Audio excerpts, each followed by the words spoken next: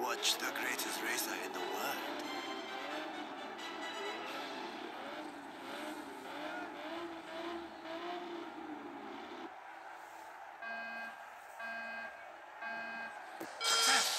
You will soon see